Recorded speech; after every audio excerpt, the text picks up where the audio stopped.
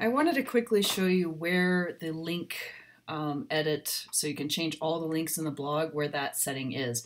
Um, this is a Wix uh, classic editor site and code, you can use code, but it doesn't change things like this. Um, so uh, it's kind of more of a WYSIWYG editor and you have to go into the code, or uh, sorry, into the settings of the blog posts in order to change it. So what I did is I navigated to the individual blog post um, or the page, the post page, which is located in a couple spots here, but you can preview and then click on the blog and get to the blog post and then edit it that way. You can also come over here to site menu and scroll down to, where did it go?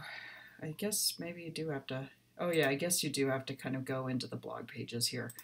Um, but if you click here on blog pages, you'll get to the post and then from here, you can click on this post, and this, this edits all the posts across the blog. But if you click on settings, and then come here to display, down to design, text, style, and color, you'll see here, this is the links and hashtags color. So all the links will now be changed to blue. So I went ahead and changed it to that blue that you had in your code and I'm going to publish it, but that will change all the links, at least in the blog. Um, in regular text throughout the site, uh, you would just need to change the color uh, manually. It, it uh, there isn't really a, an overall link um, color, uh, so you'll see a lot of these are well, it looks like they're black. But if you want to change them blue to blue, you can just click on them and then choose that color. I added the color you had, that 0645AD, to the editor here, and it's under the My Colors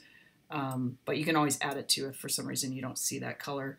You just come in and, and change them manually here. So um, that's that. So I just wanted to quickly show you how to do that. I'm going to leave these black because you may have wanted them black.